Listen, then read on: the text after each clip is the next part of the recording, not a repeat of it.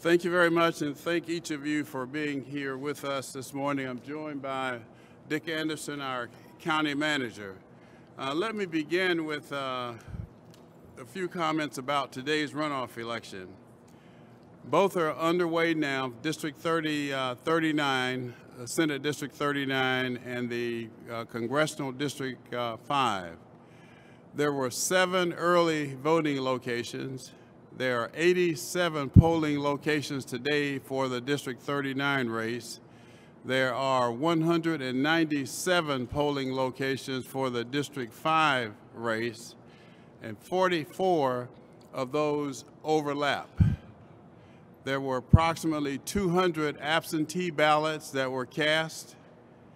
Early voting for the Congressional District 5 race, there were 5,993 people who voted early for the District 5 race. And early voting for the Senate District 39, 1,560. Very low, and we expect uh, somewhere in the neighborhood of a, of a 5% to 7% turnout. When I voted at my precinct this morning at 8.30, I'm normally the first one to vote. I knew there wouldn't be a lot of people. I voted at 8.30 and I was a third person, which is indicative of how, uh, what the turnout is going to be today. Now, let me fast forward to comments that continue to be made by the, either the Secretary of State or representatives of the Secretary of State and representatives of the President of the United States of America. I'm still not clear as to why they continue to pick on Fulton County, Georgia. We're the largest county in the state of Georgia, the largest of 159. I cannot speak to what the other 158 counties in Georgia are doing, but I can tell you beyond a shadow of a doubt that within Fulton County, Georgia, there was no hanky-panky whatsoever with respect to the recent election. Zero. And I challenge anyone from the President of the United States office, his representatives, Secretary of State of Georgia's office to come forward with any proof that they have that would contradict what I'm saying. What I said before, and I'll say again today as loudly as I can, either put up or shut up. Our elections in Fulton County are fair. We hold elections sacred in Fulton County. We have doubled the amount of money from 17 million to in excess of some 35 million dollars that we will have spent on the elections this year to get them right. Our process has been open, it has been fair, and it has been transparent. And I'm really sick and tired of folk who do not know what they're talking about continue to criticize Fulton County. We're the largest county in the state of Georgia, and we're doing our job by all, all accounts, including some who are criticizing us now. We received an A plus for our work in the recent election. So to come full circle and all of a sudden criticize us uh, makes no sense whatsoever. So again, it is time to either put up or shut up. Thank you. Yes.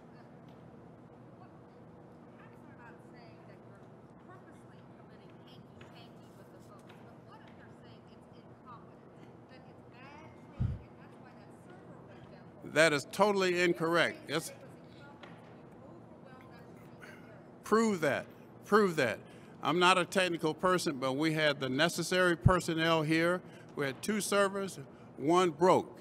You go back to the beginning with respect to the manufacturer, that's where all of his criticism should begin. But we have done our job, we continue to do our job, and to, to continue to criticize our hardworking employees who are here uh, doing a great job for us, doing a great job for the citizens of Fulton County, and subsequently the, for the state of Georgia, and based upon what's going to happen on January 5th, even for the United States of America. So I'm proud of the work that our employees are doing, and I'm not going to put up with this criticism.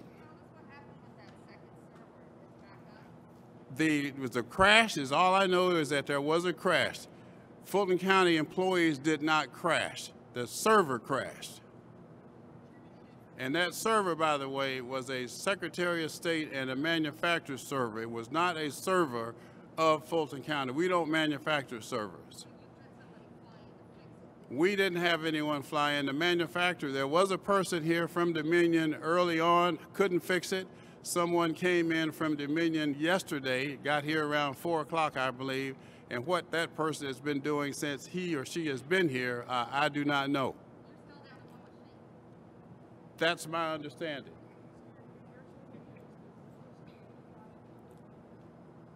I'm sorry, we have another person. Okay, Rita, I'm sorry, uh, I told, as I said earlier, we can't answer technical questions today. We're gonna try to respond to some of these. Chairman, has there been some concern about the scheduling of the employees and the fact that you guys stopped early from five o'clock on Sunday, five o'clock yesterday, and plan to have employees work till eleven tonight? Concerned that you're cutting it too close? We're not cutting it close. We're, we are confident that we will meet the schedule that was set by the Secretary of State. We, we had planned to finish early, but for the server crashing, we were 88% complete when the server crashed. State has said, Secretary of State said earlier this morning that the reason why Fulton County is in this situation is because it is cutting corners, this is Brett Cook, cutting corners and not following, uh, specific procedures laid out by the Secretary of State. What do you say back to that? I have no idea what he's talking about. We're following the procedures that have been outlined for us. Uh, he needs to show us what he's talking about. Yes, ma'am. Yes, it was said that an employee uh, scanned the balance on the, the actual server instead of an external uh, server, so he was calling that a user error. I can't comment on that because I don't know what he's talking about, but what I do know is that one of the servers crashed and it was not a Fulton County server, it was a Dominion server that was purchased by the Secretary of State of Georgia.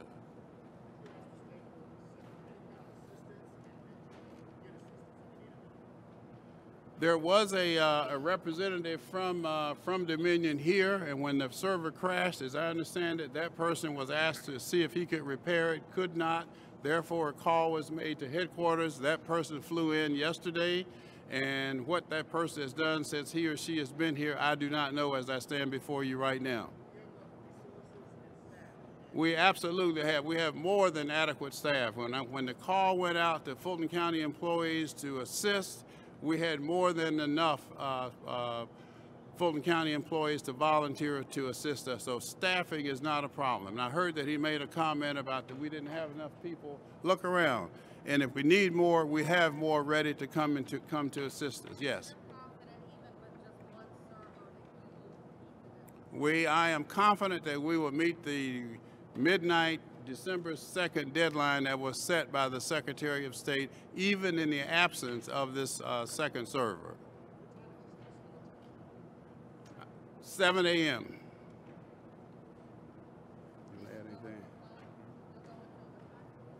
11.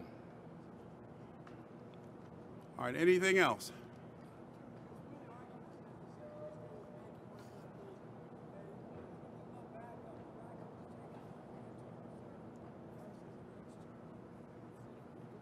I'm sorry, I, we really can't comment on that. I, I just don't know the details.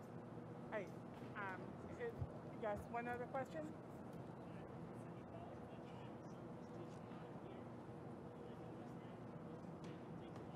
It's still sitting over there where it was the whole time.